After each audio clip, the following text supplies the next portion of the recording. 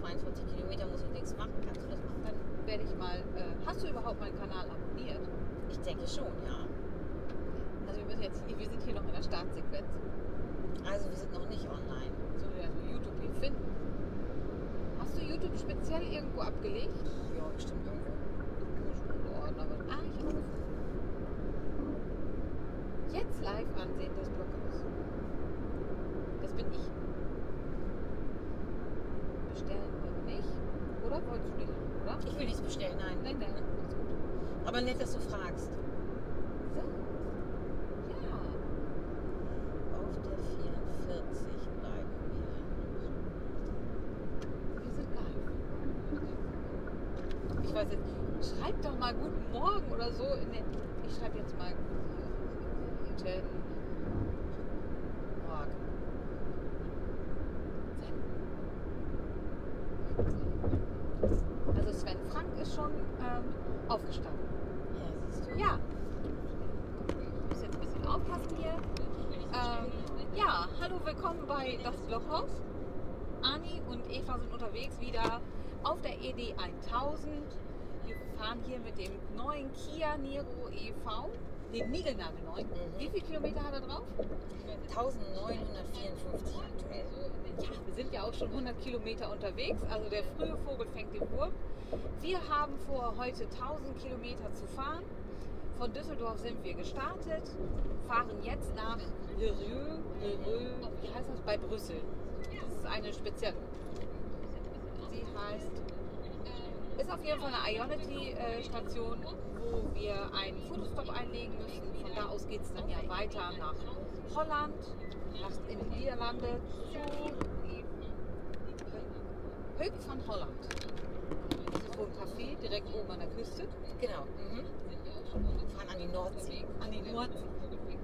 Hui, da komme ich so selten. Mhm. Ja. Und dann wieder über Bielefeld, also dort sollen wir auch noch aufschlagen, an unserer berühmten Lieblingsladestation in Genau. Bielefeld, an der Shell-Tankstelle. Und dann ähm, ja, geht es wieder zurück nach Düsseldorf. Genau, also eigentlich ganz easy, oder? Ja, total entspannt. Ja, wir haben jetzt die ersten 126 Kilometer gefahren. Also es sind jetzt noch 874 vor uns sozusagen. Und ähm, ja, das ist eigentlich läuft es bisher sehr gut. Wir kommen super gut durch. Es ist kaum Verkehr, keine Staus, keine komischen Sperrungen Bisher oder noch sowas. nicht, ne? Mal auf Holz klopfen.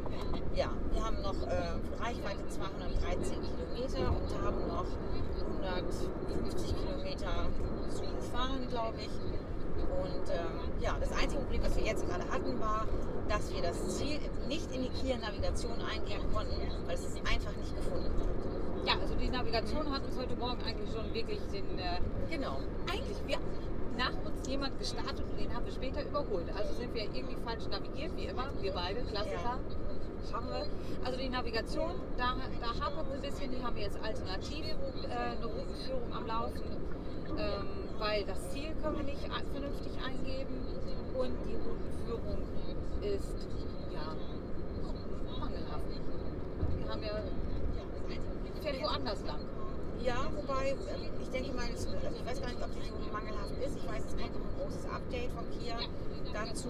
Aber ähm, dadurch, dass das Ziel, wir hatten erstmal nur die Stadt angegeben, vielleicht hatten wir wieder einen anderen Weg. Vielleicht haben wir es einfach noch nicht richtig eingegeben. Also ich würde das noch nicht so, so ab, äh, ab, abwerten. nein, nein, das- Sondern ich lass, lass uns das nachher nochmal probieren. Genau. Vielleicht, ich denke, oft ist es auch wirklich ein Anwenderfehler. Und äh, wir geben dem Ganzen noch eine Chance. Ja, sowieso. Das, man darf ja nicht vergessen, dies, dieser Wagen wurde uns ja von Kia Deutschland zur Verfügung gestellt. Das heißt also, kein Fahrerprofil ist wirklich angelegt.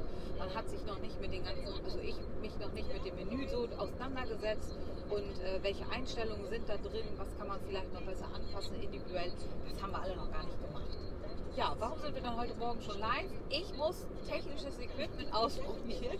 Ich habe hier also ziemlich viel aufgefahren und äh, bin hier wirklich schon seit einer Stunde. Ani fährt hier fleißig alleine Auto und ich tüdel hier was zusammen. Ich versuche mal, ob ich hinbekomme, euch zu zeigen, äh, was wir mitnehmen wollen. Also das hat mein Bruder hat das vor. Wir wollen ja zum Nordkap fahren, mein Bruder und ich, mit äh, noch Begleitung. Und äh, da wollen wir natürlich auch live unterwegs sein. Das wollte ich heute Morgen erstmal zeigen, bevor jetzt nachher die Fahrer-Action losgeht. Also theoretisch habe ich die Möglichkeit, ähm, Bildeinstellungen zu verändern, die ihr dann auch mitbekommen solltet. Und dann seht ihr jetzt, oder es kommt gleich, ist ja immer ein bisschen Verzögerung, dann seht ihr hier, da habe ich also so ein technisches Gerät dabei, was es mir mö- ermöglicht, so diverse Einstellungen zu machen. Ich weiß gar nicht, hört ihr eigentlich auch Musik die ganze Zeit? Die Mikros sind sehr leise. Ja. Das habe ich heute Morgen erst mal zeigen, bevor jetzt das muss ich aber. So geht schon los. Ne? Mikros sind leise, Ani. Ich fahre nur, ich bin nur Fahrerin. Ich kann euch da nicht helfen. Ich kann nicht mal die Kommentare lesen. Ähm, ich mache einfach hier so mein Ding und äh, Eva ist mit euch live. Ja, das ist, ist aber nett, dass wir das mal gemeinsam mit Ja. euch austesten. Das ist ja auch wichtig, dann kannst du, so- also ist natürlich ihr Rückmeldungen gebt. So kann Eva natürlich ganz genau wissen, irgendwie, ja, jetzt muss ich das machen, das machen, das machen. Ich habe das ganze Gerät noch nicht geschnallt und wir haben das gestern schon mal ausprobiert. Das sieht aus wie, ein, wie so ein kleines äh, äh, Mix, äh, äh, Mixgerät, also so ähm, DJ-Pult, irgendwas in der Art. Mit vielen bunten Knöpfen. Hast du toll ausgesucht, Georg. Ja, wir können da ja dann noch euch natürlich, weil das so toll ist, dann kriegt ihr auch natürlich. Ein kleines Down. Und dann können wir noch so Spielereien machen wie, wenn wir da mal euch ganz langweilig irgendwie,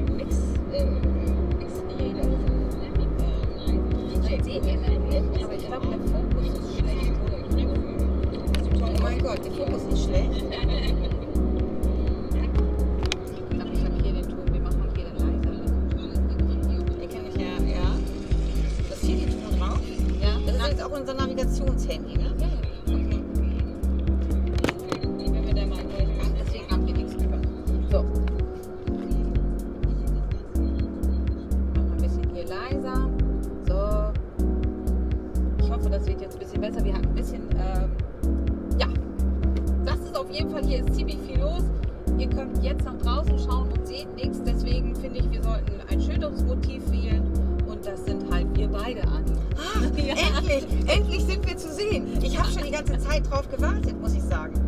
Ähm, Anni, wir wollen ja nicht zwölf Stunden live gehen, aber was machen wir denn jetzt? Weiß ich ja nicht. Also, ich muss mal kurz hier gucken. Es gibt hier gerade eine riesengroße.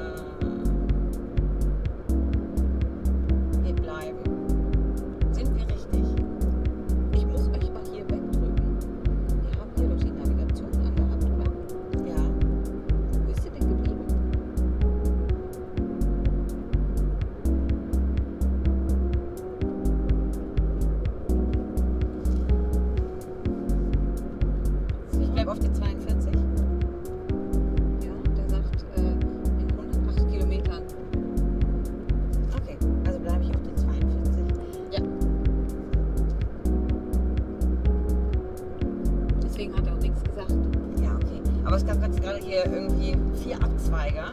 Rechts, links, rasch Und da wollte ich ähm, dann kurz nochmal sicher gehen. Also die Belgier fahren auch gerne mal schnell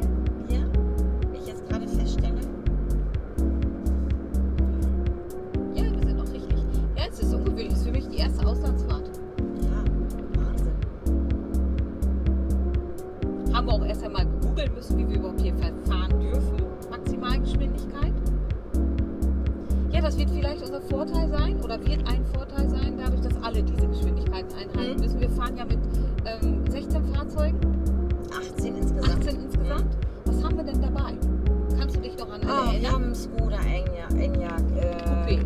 Coupé. Wir haben den Genesis äh, dabei. Wir haben natürlich einen Ioniq dabei. Wir haben einen EQS dabei.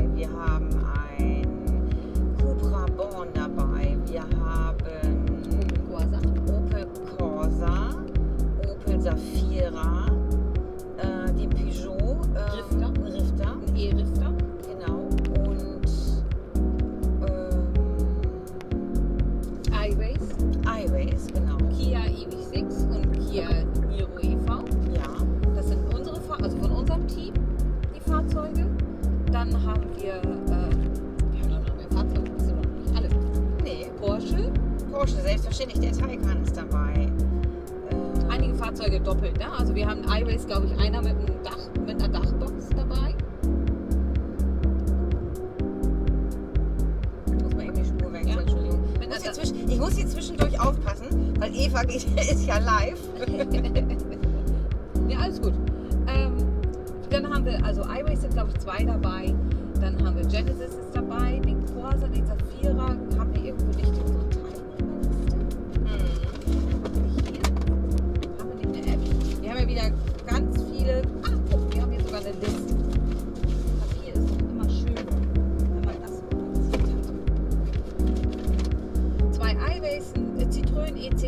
auch mit dabei. Ach, Fiat 500e. Liebe Grüße an Jens, Jens. und Tarek.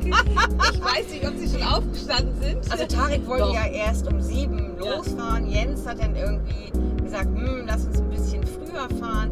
Ich weiß jetzt nicht, wer sich da durchgesetzt hat, aber falls die beiden äh, bei uns sind, dann die werden bestimmt heute auch ganz oft live gehen, kann ich mir vorstellen.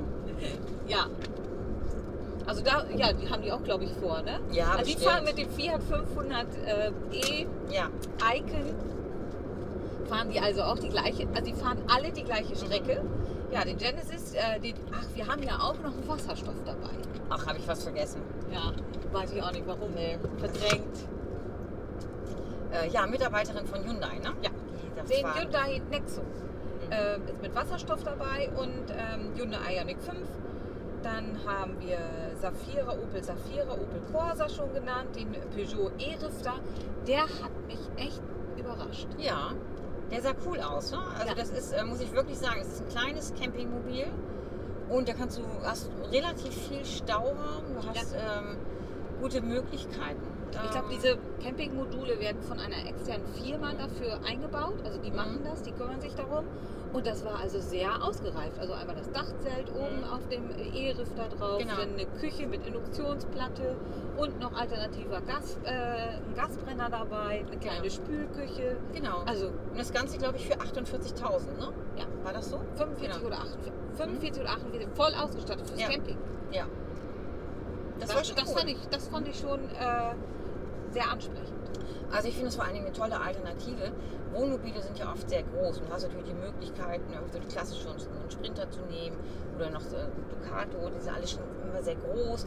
Und das ist klein, du kommst überall irgendwie äh, in den Städten zurecht. Du kannst mit Sicherheit auch auf, auf kleinere äh, oder auf Parkplätze fahren. Da gibt es ja heute auch schon wieder Begrenzungen mit, das Auto darf nicht größer und höher als das und das sein. Und das ist eigentlich ziemlich gut, das ist eine gute Ja, Größe. das war eine gute Größe. Also äh, ich stand erst davor und habe gedacht, naja, das ist aber sehr gedrungen, wenn man da drin sitzt. Ja. Aber dadurch, dass man das Dachzelt da hat und öffnet, ist also der Raum doch sehr groß. Also es ist vorhanden. Das ist Ja. ein bisschen minimalistisch, aber für die, die es mögen, die können also wirklich tolle Erlebnisreisen damit machen. ja. Und äh, oben das Bett ist zwei Meter lang, also auch da die größeren Herrschaften und noch größere eingekugelt können super da äh, drin. Ich frage mich nur immer, wie man da hochkommt. Das kann Springen. ja, den Peugeot E2008 ist auch mit dabei. Porsche Taycan, Renault äh, Megane E-Tech. Mhm. Den habe ich gestern gar nicht gesehen. Doch, ich habe einen gesehen. Also da habe ich gedacht, oh, ist der elektrisch? Ja, ist er. Cupra Born. Ähm, Skoda Enyaq Coupé in diesem Mega grün, ja. ja? Genau. Den, äh, der wird von äh, Jan Leitzmann gefahren. Ja, Genau. liebe Grüße an Jan von Ausfahrt TV. Der uns er- bestimmt auch guckt. Genau, ja, ja, sicher. ja. Sowas Mhm. von. Genau. Aber ganz sicher hat er meinen Kanal abonniert. Bestimmt doppelt. So, hier mal online gehen. Dann haben wir äh, den Volvo C40 ist auch wieder mit dabei. Und das waren sie eigentlich auch die Fahrzeuge. Nichts Außergewöhnliches. Was schön war, wir waren gestern alle in Hilden. Haben da ja unsere, das war eigentlich toll. Du drückst mir irgendwie das Handy während der Fahrt ins, in die Hand. Also das war jetzt verboten. Das war jetzt hochgradig illegal. Da habe ich jetzt gar Danke, nicht drüber nachgedacht. Ich nehme das auch noch, echt. Menno, wenn ihr das jetzt gesehen habt, macht das nicht nach. Hab ich, hab ich, ich habe da echt nicht drüber wollte eigentlich nur Hm, dein mach Gesicht mal. haben. Ja, ja, ja. Also wir waren in Hilden und ähm, haben da einen tollen Tag verbracht. Eigentlich war dann schon, wir haben ja Filmaufnahmen gemacht, wir haben Interviews gegeben und ähm, ich fahre hier viel zu langsam, fällt mir gerade auf. Ja, das ist, wenn man so ins Quatschen kommt, ne? Mhm. Ja. Ich hoffe, wir sind auch alle da. Ich weiß, ich glaube, Wie viele sind denn online? das kann ich neun. Neun. Ah, habt komm, wir ihr, habt ihr neun schon äh, einen Daumen hoch gegeben? Ja, ganz sicher. Das sind, das sind meine harten Fans, die also wirklich immer da sind. Okay. Und äh, Und Familie vermutlich. so Bild hängt nicht synchron, Bild hängt hinterher. Ja, das sind so Sachen, die, ähm, nur um ganz kurz auf die Technik, Mhm. das kann ich auch einstellen, dass also Lippen und Ton Synchron? synchron, sind. Ja, das hast du ja, vielleicht habt ihr es ja bei, bei Robin TV auch schon mal häufiger erlebt, wenn man da drin steht und sowieso bei äh, Live-Aufnahmen. Das Interessante, um auf das technische Gerät jetzt erstmal. Ja, morgens wollen gerne Männer Technik hören. Okay. Das Interessante daran ist halt dieses, äh, das ist halt so ein mobiles Gerät, das gibt es noch gar nicht auf dem Markt. Mhm. Eigentlich. Und eigentlich ist es aber schon da. Und äh, das hat deswegen auch noch so ein paar Fehler in der Software. Das läuft also alles über App und mobile und so. Und ich kann hier zum Beispiel nicht den Chat verfolgen. Ja. Dazu brauche ich wieder ein extra Gerät, da, um mich da einzuloggen. Die Geräte, die damit kompatibel sind, die müssen im gleichen Hotspot sein. Man darf die eine App nie verlassen, dann wird der ganze Stream abgebrochen und so. Das ist anstrengend. Ja, ja. Das ist, aber ich soll es ja ausprobieren. Genau. Ja? Also das hört sich nicht unkompliziert an, wenn ich das mal sagen darf. Ja, du hast ja auch gesehen, wie lange ich hier getüdelt habe, Mhm. das Ding aufzubauen und ich hänge jetzt hier. Aber ich kann dann auch eben so Spielereien machen, wie ähm, könnte ich machen, wenn ich die richtigen Geräte hätte. Dann hätten wir Mhm. zum Beispiel unterwegs Fotos gemacht. Einer hätte Fotos gemacht, hätte mir die geschickt per Cloud und dann hätte ich sie direkt hier gehabt. Also direkt. Sprich, wenn wir an der Ladestation sind, Ja. und solche Geschichten. Aber ich freue mich heute auf die 1000 Kilometer. Ihr habt ja die Fahrzeugliste euch natürlich gemerkt. Später gibt es noch ein Quiz dazu. Nein. Ähm, interessant finde ich, dass all diese Fahrzeuge.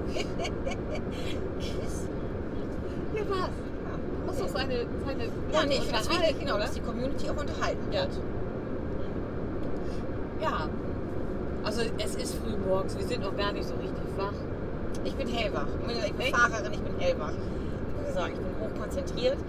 Ähm, ich bin natürlich hellwach. Ich glaube, ich brauche einen vernünftigen Kaffee.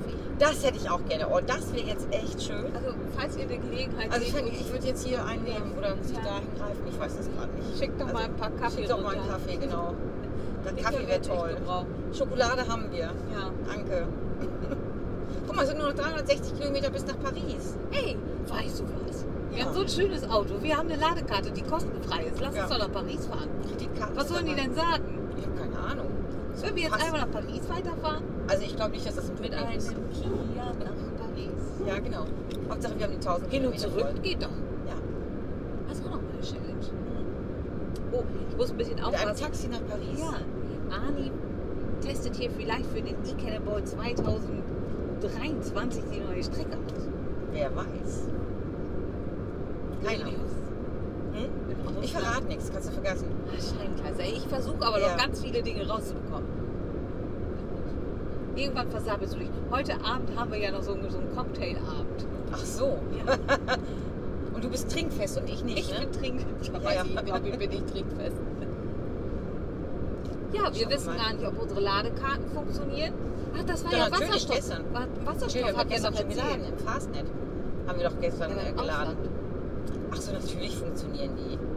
Aber die Wasserstoff-Ladies haben, genau, Ja. die haben erzählt, dass es äh, für Wasserstoff hier ganz spezielle natürlich Tankstellen gibt, mit ganz speziellen Bezahlmethoden. Da gibt es wohl irgend so eine Karte, die man braucht.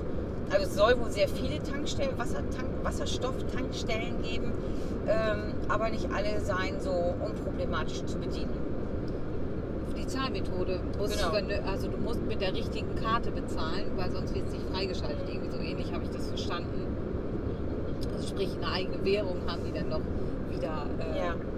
Das ist deren Problem, was die haben. Ob- Wobei, die müssen ja nur einmal tanken. Ja. Also ich finde das Problem besetzt ja schon da an, wo sie sich ein Wasserstoffauto in Bewegung setzen, aber okay, naja. Ganz süß waren ja die Leute von Peugeot, fand ich. Äh, mit dem äh, Tim, Tom, wie heißt der noch? Äh, ein Regisseur, Tatortregisseur. Äh, Stefan Wagner. Stefan Wagner. Genau, wir haben ja auch ein paar Promis an Bord, also neben uns beiden Ja, ja. haben wir auch noch ganz wichtige Personen mit in der, äh, in der ED 1000, die da teilnehmen. Unter anderem Stefan Wagner, Tatort-Regisseur und Drehbuchautor. Genau.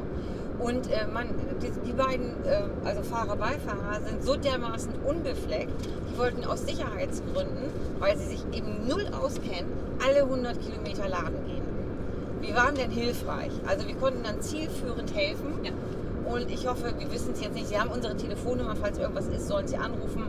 Aber wir konnten Ihnen gestern noch den Weg in die Elektromobilität etwas erhellen, würde ich sagen. Ja, zumindest mit dem Fahrzeug, da Ja. haben sie wirklich, sie wollten alle 100 Kilometer oder 120 Kilometer laden und dann nicht heizen, nicht, ne? keine Klima benutzen. Wobei sonst, sie, sie kannte sich aus, aber war jetzt in dieser Situation, war es Neuland. Und Ja. äh, Stefan, glaube ich, total Neuland. Ja, Ja, ich bin gespannt, ob wir die dann heute Abend antreffen werden. ich auch, bestimmt. Ich glaube, alle kommen. Alle kommen. Alle kommen. Ja, und dann ähm, bei uns im Kia EV6-Team, da haben wir den Thomas Maximilian Held und den Thomas, Bier Wolf. Bierfeld. guck das nach, Thomas Biersack. Biersack war es. Okay. Genau. Der ist, glaube ich, von ADAC. Jetzt mal ADAC, der kümmert sich dort um Elektromobilität, hat auch ein paar Videos gemacht für den ADAC-Kanal. Und ähm, ja, ein, ein netter Mann. Die sind alle nett. Alle nett, genau. Also ich habe gestern keine unsympathischen Menschen getroffen. Nein. Gibt's nicht. Sind ausgestorben. Gott sei Dank. Unsympathische Menschen. Ja, da hatten wir ja gestern diesen Abend. Mhm. Lecker essen. Buffet. Wirklich, doch, war, war schön. Mhm. War auch angenehm. Also Unterhaltungsrunde. Du merkst auch so, die Größe sind auch entscheidend dafür, Ja, es so ist so. Abend verläuft. Mit 18 Leuten kannst du natürlich ganz anders sprechen, als wenn du 140 140 hast. Ja, ist so. Ne? Ja, ich würde aber jetzt mal sagen, ach hier, komm mal, Sonntag ist. Hm, schicke ich euch noch mal ein Bild von mir. So. Einfach nur, weil Sonntag ist und weil ich das Foto hier drin habe und ich muss hier ein bisschen rumtüdeln. Ach so, ja, natürlich mal. Ja. Weil, vielleicht in dem Zusammenhang, Ani hat ja, oder äh, Uwe und Ani haben ja am Habe ich Geburtstag? Freitag, nein, am Freitag habt ihr ja noch ein Video rausgebracht, Ja, dass genau. das Bewerbungsfenster noch geöffnet wurde, Genau. verlängert wurde. Verlängert für eine ganze wurde. Woche. Ja, für eine Woche, genau. Mhm. Das haben wir gemacht, um halt, ähm, wir waren wohl ein bisschen schnell in diesem Jahr. Also wobei, ich habe das eigentlich gar nicht so empfunden. Wir haben ja das Video gemacht und gesagt, das Video, jetzt ist Bewerbungsfenster auf, zack, für den Cannonball. Und wir haben das eigentlich in den letzten Jahren auch so gemacht. Vielleicht ist die äh, Besonderheit, dass jetzt Pfingsten dazwischen liegt und ähm, die Pfingstferien und ähm, viele dann gesagt, boah, wir schaffen das gar nicht, können das nicht. Und dann gibt es die Situation, dass diejenigen, die äh, Autos haben, die noch in der Auslieferung sind, wie den Nissan Aria oder der ähm, Born, Cupra das ne? ähm, dass die sagt, Mensch, irgendwie, wir wissen gar nicht, können wir uns bewerben und wir haben diesen Sonderfall geschaffen, dass wenn, wenn dein Auto zu dem genannten Zeitpunkt nicht da sein sollte, kannst du mit einem Ersatzfahrzeug kommen, das du eben äh, vorher benannt hast. Also, dass da eben kein, kein, keine Lücke sozusagen entsteht. Ja. So, und das wollten wir halt noch machen, das wollten wir der Community noch mitteilen, weil das ja eine wichtige Entscheidung ist. Und ähm, ja, deswegen haben wir das Bewerbungsfenster noch ein bisschen geöffnet. Das finde ich sehr nett, weil ähm, in den letzten Jahren natürlich ist es schön, wenn man eine super Modellvielfalt auf der Veranstaltung gesehen hat und dass man versucht, jedes Fahrzeug mitzunehmen, aber dadurch sind natürlich auch einige, äh, gerade bei den Lieferschwierigkeiten, schaffen es nicht. Ne? Ja, genau. Das ist ein Problem und äh, betrifft ja nicht nur einen Hersteller, sondern wirklich alle mit der Zeit. Mittlerweile sind Und- alle davon betroffen. Genau, und von daher ähm, wollten wir da gerne die Möglichkeit geben, dass wir denn doch noch solche Fahrzeuge bekommen und äh, wenn sie denn da sind und ja, deswegen ist das, denke ich, glaube ich, eine ganz gute Maßnahme. Von daher, bewerbt euch, 20 Sekunden Video. Ich kann die letzten vier Jahre eigentlich nur bestätigen. Es hat immer mir mega Spaß gemacht mit Ja. meinem Bruder zusammen. Die Strecke auch, auch so wie hier, das ist ja als, als Teilnehmer ist ja alles, was bei der Veranstaltung drumherum passiert, so der Livestream, den ihr da macht und Park Familie, der da noch läuft, Nebensache. Wir sind ja tatsächlich eigentlich nur auf der Strecke und, und versuchen zu fahren und haben die Zeit für uns in der Veranstaltung Ja, und kriegen nur ganz beiläufig von der Veranstaltung selbst was mit. Also was tagsüber so läuft. ja, Wir gucken, ja, wir gucken auch mal in den Livestream rein, wir gucken das Tracking an der anderen Fahrzeuge, aber das ist doch, das sind so zwei Elemente. Mhm. Als Teilnehmer bist du anders an der Veranstaltung als Zuschauer. als Teilnehmer ist es natürlich einfach so, nimmst du teil ne? und Ja. hast eben noch ganz viele andere Sachen am Laufen.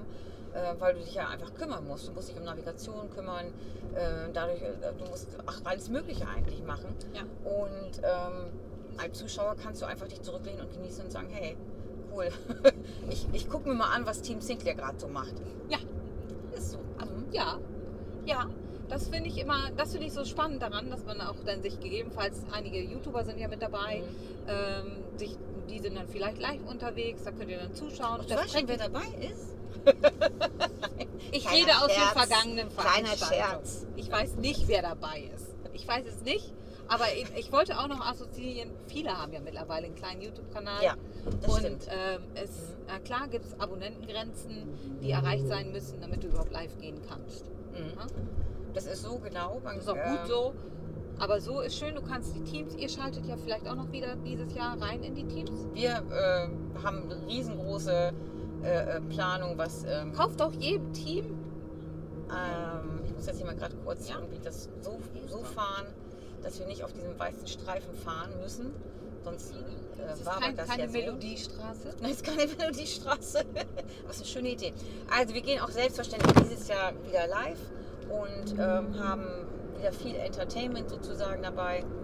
Und äh, ja, seid einfach gespannt. Ja. Und ich glaube, damit beenden wir jetzt auch diesen Stream. Wir Okay. kommen mit Sicherheit noch mal rein.